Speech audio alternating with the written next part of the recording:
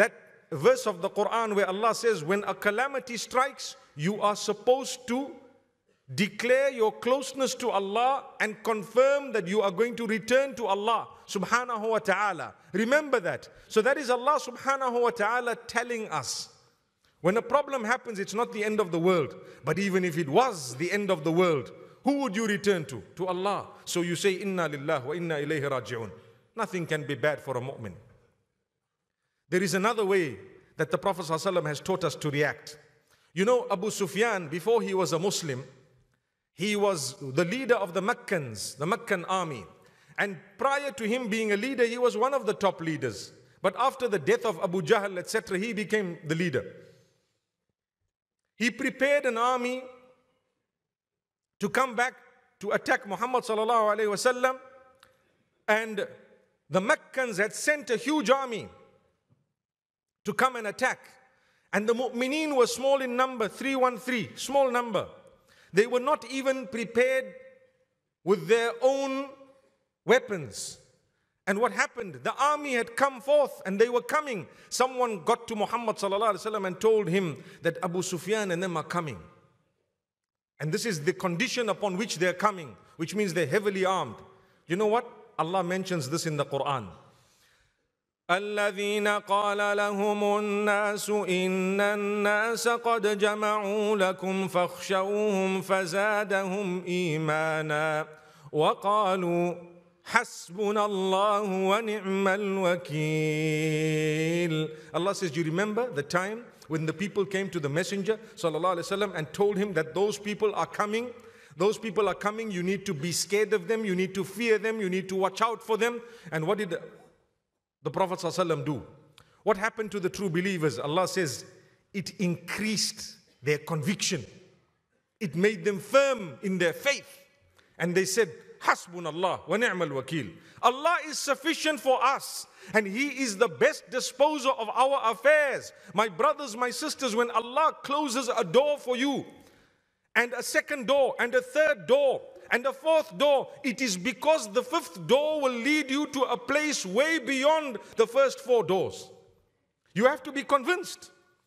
You tried something, Allah closed the door, you came out again.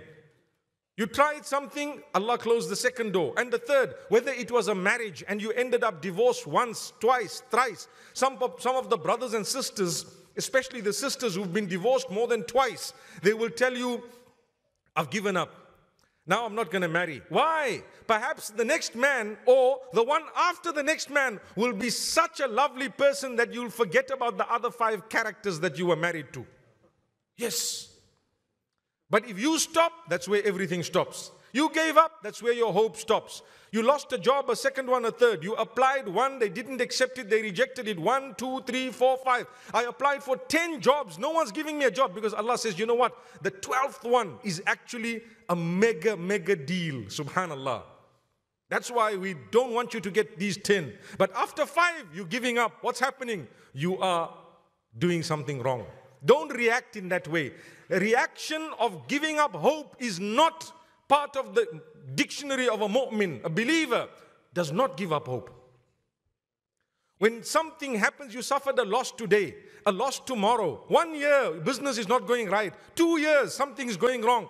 For as long as you did not give up hope and you keep thanking Allah and you keep trying, trust me, five years later, that multi million dollar deal that people were waiting, notice I said dollars, not rands, that people were waiting for, subhanallah, came to you. But what happened the five years? You struggled. Suddenly you shot up to the top. That was Allah. Why? You reacted with hope. In the face of that, which would have brought about hopelessness to those who don't believe. Allahu Akbar. Hasbunallah wa ni'mal wakil. Allah is sufficient for me, for us, and He is the best disposer of our affairs. Allah says, the verse after that, what a beautiful verse. فَانْقَلَبُوا Allahu Akbar. Allah says, as a result of that conviction that they had and the dua that they made, Hasbunallahu wa ni'mal wakil, we actually converted for them whatever there was in terms of fear that they may have been or may have been warned about into a beautiful coolness, a calmness, success, and victory. How did victory come? They reacted correctly. What is the strategy for believers to become the strongest human beings in this dunya? Strongest in anything that we do. Tell me one thing that we can do to become the strongest of all.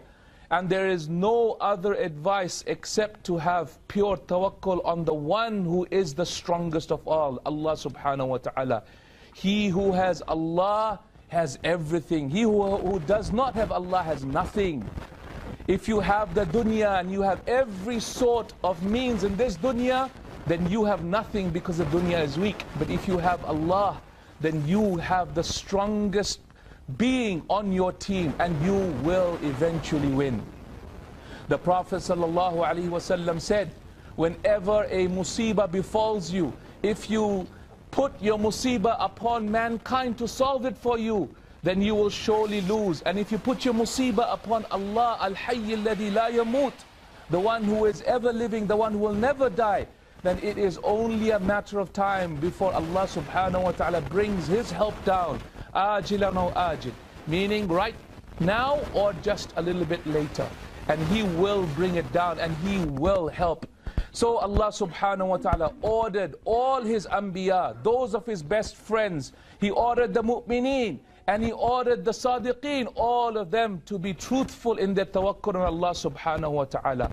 And tawakkul is not the quality of a weak human being. Tawakkul is not the quality of a person who doesn't know what to do. Tawakkul is the bed and breakfast. It is the building blocks of every believer. يقول ابن القيم رحمه الله Half of Islam is tawakkul on Allah. 50% of the deen is relying on Allah Azza wa Why is it? Because Islam tells you to do things which are unbelievable. Islam told the Sahaba to go and fight Persia. Islam told Rasulullah to, to send letters of Islam to the leaders of this world. Islam told Rasulullah to go out and to call the Quraysh who were the Jabbareen on this earth, who were in power and, and, in, and, and in seats of authority on this earth. Allah subhanahu wa ta'ala always tells the believers to take on a bigger challenge than they can face than their preparations are. 318 Muslim soldiers taking on 1,000 army of the Quraysh. 3,000 Muslim soldiers taking on 250,000 of the Romans. 130,000 Muslim soldiers taking on the greatest army the world has ever seen, the Persian army. All of this because this is what Islam demands, that you take on a challenge larger than you can bear. And the only way you can win is to have tawakkul on Allah subhanahu wa ta'ala. يقول ابن تيمية رحمه الله, he said, من سره أن يكون أقوى الناس, whoever wants to be the strongest of people, فليتوكل على الحي الذي لا يموت, then let him put tawakkul on Allah, the one who is ever living will never die. And this is the essence of strength. The essence of a believer's strength is that not because he has wealth and strength and power and ability, the fact that he has on his side his connection with Allah subhanahu wa ta'ala, the one who is able to do all things. This is why Allah subhanahu wa ta'ala says, وَتَوَكَّلْ عَلَى الْحَيِّ الَّذِي لَا يَمُوتُ وَكَفَى بِاللَّهِ وَكِيلًا And enough is Allah as a wakil for you. أَلَيْسَ اللَّهُ بِكَافٍ عَبْدًا Is Allah not enough for His slave? Is Allah enough, not enough for his slave. And this is why يقول الشافعي رحمه الله when you see people leaving you and people deserting you, know that this is Allah telling you that Allah is enough for you. Allah is enough for you. Don't you even worry about anyone being on your side. No one supporting you, no one giving you money, no one helping you. Allah is enough for you. So tawakkul on Allah subhanahu wa ta'ala is the greatest quality of any believer who wants to be strong. And it is for this reason why Allah subhanahu wa ta'ala made the Sahaba go and do unbelievable things because they knew on their side, playing on their side, was the greatest being of all, and that is Allah subhanahu wa ta'ala. And this is why, my brothers and sisters Islam, Allah subhanahu wa ta'ala helps with His help those people who are sadiq and truthful in their tawakkul Allah. My brothers and sisters Islam, whatever we do is weak. Our knowledge, our wealth, our sabab, our taking or tying the camel is weak. What? a, a, a, beggar or a robber at the depths of the night can't come and uh, can't come and untie the camel Or the wind could blow and then something could untie the camel. Couldn't the camel move and then untie its own rope? Of course it can. But tying the camel is a weak sabab, and that's the whole point about all of the deeds that we do. They are weak, they are weak. 318 soldiers against a thousand, weak. 3,000 against 250, weak, weak, weak. But, but we are ordered to do the weak. We are ordered to do the weak because Allah wishes to hide Himself in this dunya. And He wishes to test us. Otherwise, He would do it for us and there would be no test. It is for this reason why Allah subhanahu wa ta'ala told Ayub alayhi when he complained about him being in sickness, what did he say to Ayub?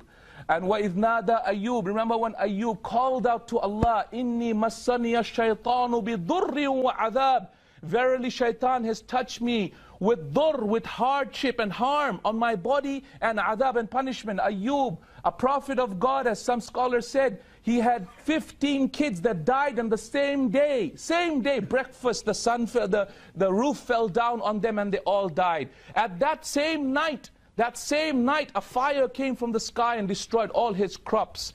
And he had leprosy that started on his body. Ayub والسلام, was afflicted by people. People said, Ayub did some sin. That's why Allah has given him adab and punishment. So for years, Ayub was thrown out of the city. He lived in a cave. All of this until he made that dua. He said, Oh Allah, I have been touched by shaitan. I have been touched by shaitan with hardship on my body, oh Allah. So what did Allah say? Allah says, اركض برجلك هذا مغتسل شارب وبرا مغتسل بارد وشراب What does Allah say? Allah said with your legs hit on the ground. Now imagine a man with leprosy. Imagine a man who's afflicted with sickness. Imagine a man who is lying on the ground, not even standing. Then Allah says to hit the ground with your leg. Would that be enough to break the ground? Would that be enough to crack the ground and cause water to come out? No.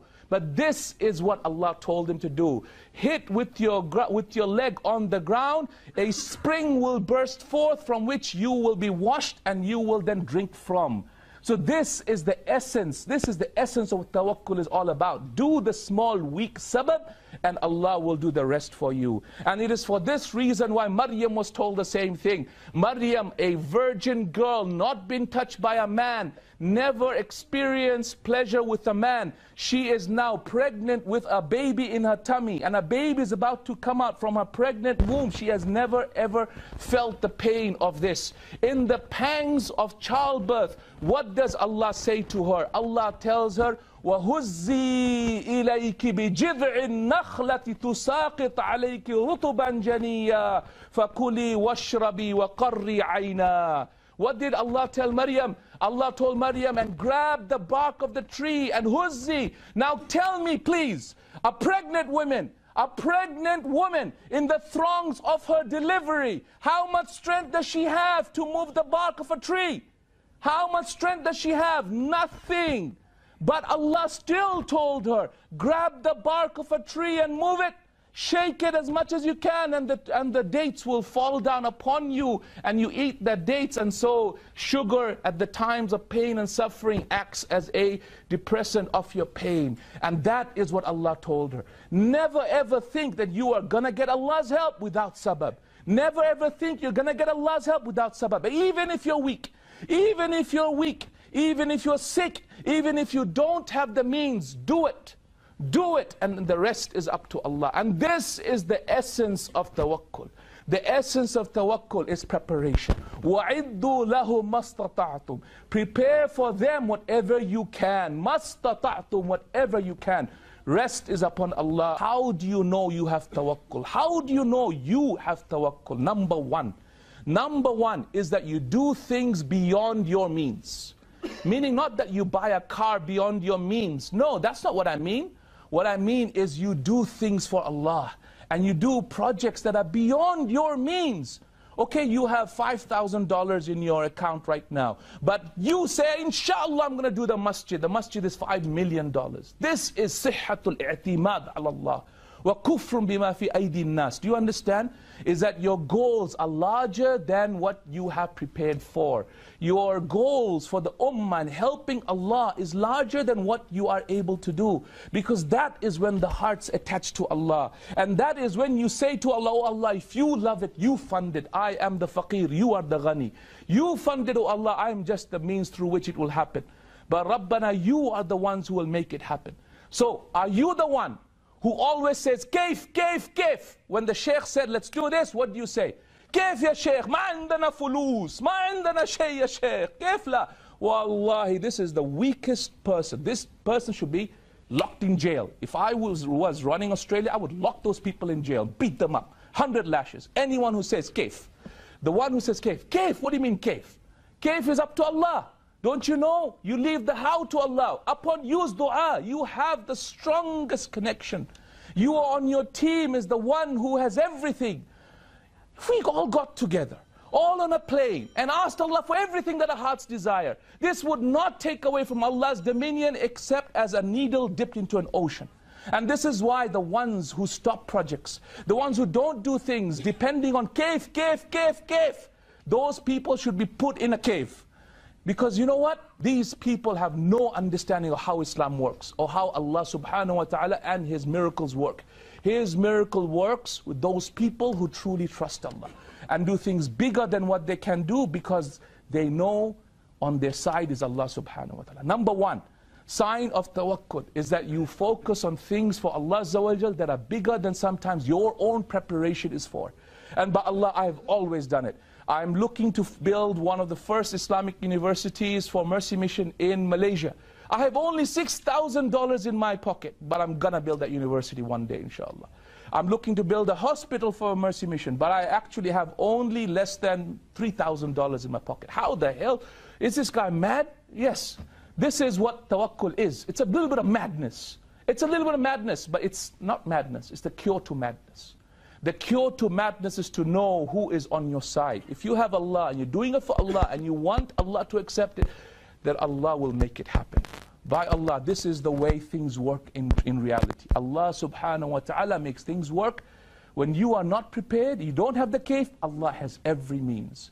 So subhanallah, number one is that you focus on something bigger. Number two, when people leave you, when people abandon you, you are even more happy than when they're with you. When people abandon you and people don't support you and they don't give you, you are even more happy than when people do.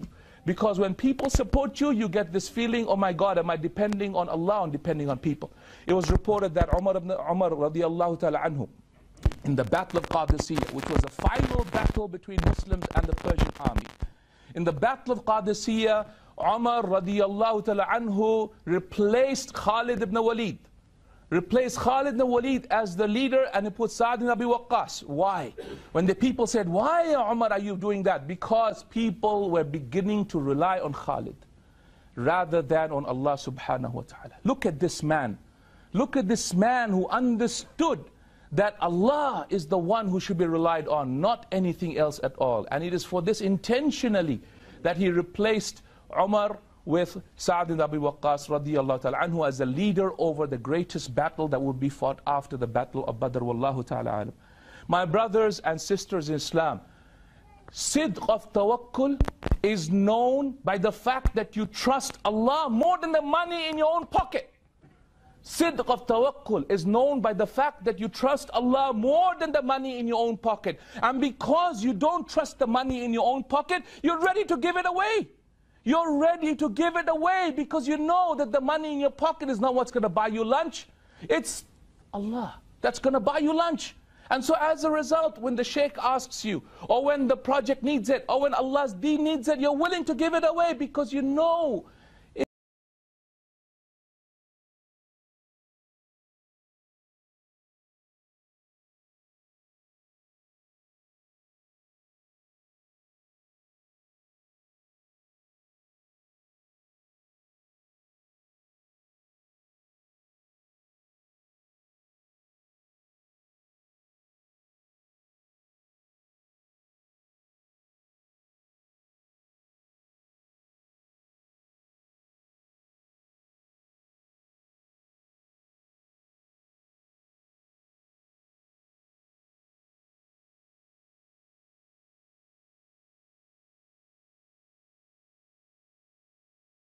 having sidq tawakkul with Allah subhanahu wa ta'ala, that is the day when we will become giants and we will leave a legacy for this ummah. But you don't have tawakkul, then you're going to attach yourselves to that which destroys itself. Yaqul ibn Taymiyyah rahimahullah, from the way of Allah subhanahu wa ta'ala on this earth, is that anyone who attaches himself to something gets the result of it. So anyone who attaches himself to the dunya, loves the dunya, preserves the dunya, works for the dunya, then his actions will be as long as the dunya exists. And if someone attaches himself to Allah, and puts his action to Allah and attaches his work to Allah, then his deeds will continue forever for as long as Allah will be, and that is forever. So, my brothers and sisters in Islam, it is high time that believers become strong. And for that to happen, put your trust on Allah subhanahu wa ta'ala, not on anything else. And prepare and hit the earth with your leg even if you are weak and shake that tree even if you are not able to. For that is how Allah's help will come down because of your sidq with Allah, your truthfulness with Allah. May Allah subhanahu wa ta'ala make us of the strongest of people on this earth, of those people who have the who have the greatest of outcomes, who help Islam the greatest because of our sidq of tawakkul on Allah subhanahu wa ta'ala. الذين قال لهم الناس إن الناس قد جمعوا لكم فاخشوهم فزادتهم إيمانا Why did the iman go up? When they saw the enemies congregating because they knew Allah was saying, I am on your side, let people go. And that is why when you start donating to Allah, when you start giving Islam your time and your money, what happens first? The first thing that happens, you start getting poor. You start getting poor you start getting poor, right? And that's why a man came to the Prophet ﷺ and said, Ya Rasulullah, uhibbuka fillah. Uhibbuka fillah. He said, are you sure? He said, I sure? Are you sure? Are you sure? Many times he asked him. He said, yes. He said, anyone who loves me truthfully, then poverty will touch him faster than the wind. No, this is how Allah works. The scholars of Islam, Ibn Qayyim rahimahullah says, why does poverty or weakness touch the one who starts relying on Allah straight away? Why? Because this is Allah's way, Allah's sunnah. You got to understand how Allah works. First thing Allah does is He clears off all of the, of the systems around you. You have surrounded yourself with things that support you. Your family, your jobs, your status, your power, your wealth, and your money, Allah removes all of that. Then, when you are free of all sabab, all sort of sabab, then the help of Allah comes down like a whirlwind, and then you are supported, then you know nothing helped you but Allah. Nothing could have helped you, saved you but Allah. That is when your iman goes up higher. That is when your tawakkul goes stronger. That is when you go higher. And have you ever noticed that you can jump up higher whilst you don't bend your knees? If I'm standing here, I want to jump up. How do I jump up? I bend my knees. I have to crouch down. I have to lower myself. If I want to go up, I have to go down. And that is the whole point of preparing ourselves. Prepare yourselves. You want to be, have tawakkul? You want to have it? Know that weakness will touch you first. All of the sabab will leave you. Then Allah's help will come down and it will come down so strongly that it will leave you wondering and you will forget those days of pain and suffering because you will become the strongest people on